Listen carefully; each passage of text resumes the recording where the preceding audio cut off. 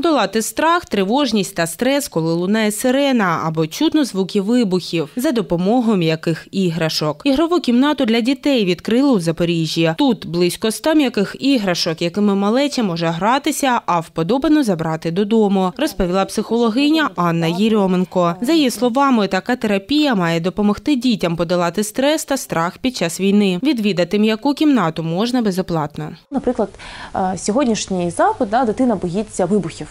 І боїться, е, коли поруч немає мами. І ми прям вишукували е, в цій кімнаті, я озвучую дитині, що тут є саме твоя іграшка. І ми е, ходимо по цьому простору. Дитина кожну іграшку обнімала, так знаєте, за лапку тримала. І вона, це була дівчинка, серед всіх іграшок вибрала величезного зайця, е, що коли мами немає поруч, цей заяць буде мене обнімати. Є дітки, які вибирають навпаки маленьку іграшку, тому що часто кудись переміщаються, або вони знають, що переїдуть, і хочеться з собою взяти частинку або ну от терапії. Відвідати кімнату терапії м'якими іграшками можуть діти від трьох років, зазначила Анна Єрьоменко. Ті запити, з якими ми стикнулися, це не такі, знаєте, легкі запити, де дитина ну там щось злякалася такого вигаданого або дрібного.